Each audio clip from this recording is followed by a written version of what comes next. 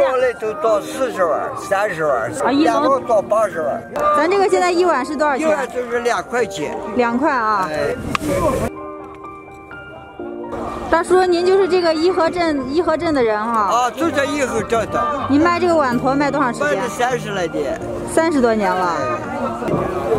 大爷这小摊位生意还挺火的，都是跟大爷同龄的人在这吃呢。大爷，好吃不好吃？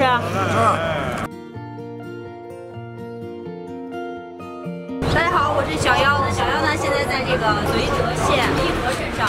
在义和镇上呢，有两个小吃比较有名，一个是月饼，一个就是这个刀刀碗坨。而且在这个义和镇上，像陕北这边的月饼的话，听说都是从这个义和镇上出来的。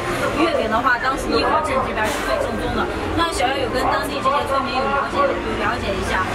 这边呢，有一家就是老字号的月饼，特做的特别有名，而且好多就是像那些外地的人都会慕名而来，来买这家月饼。那我今天呢，小妖今天去尝一下这家月饼到底怎么样。上面有写韩家老字号。您做这个做了多长时间了？四十来年了。您跟谁学的？我们是祖传的。祖传的啊。四代五代五代都有了。啊，那这个这属于绥绥德的还是咱义和这边的？是我们义和镇的。啊，就你们义和镇的啊？那我看外面也有吗？他们不是正宗的。不是正宗的啊，那就相当于这个月饼就从从咱义和出来的啊。对，颐和到到了，这个月饼就是我们颐和镇糖是最后放的哈。哦。这五仁的里边就是有芝麻。红糖、白糖是吧？啊，黄色粉和糖粉，没还还来了。你这是打碎了是吧？啊，打碎了，因为放在囫囵壳发霉了，这个就不容易，永远不发霉。那像咱这月饼，你能放多长时间？这个，嗯，我可以告诉你，能放一年。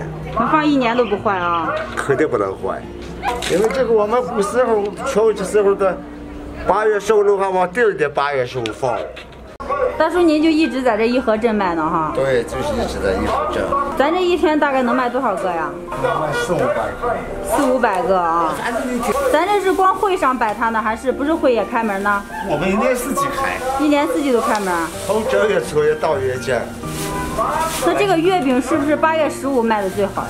哎呀，八月十五要不你就要排班，要不我提前预订，预订就买不上。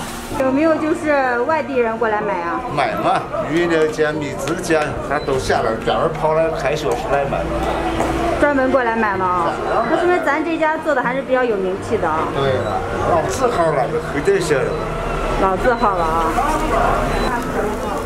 叔叔，咱这一个现在多少钱？两块。两块啊。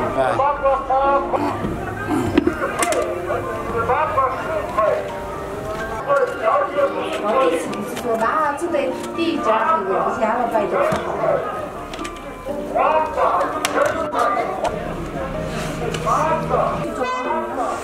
能告诉你们是哪个？饼是对，是月饼。你买了几个呀？买了五个。买了五个啊！你之前吃过没？吃过，人家说这家这家就最好的。哦，这家的最好哈。它这个外皮挺脆的，然后里边的馅儿还蛮足的。今天这边风实在太大了，没法拍试吃。我刚才在他们店里已经吃了一个，我觉得味道不错。我然后我今天就要回西安了，我买了两包给家里给家里人带回去，味道确实不错，不然我也不会买这。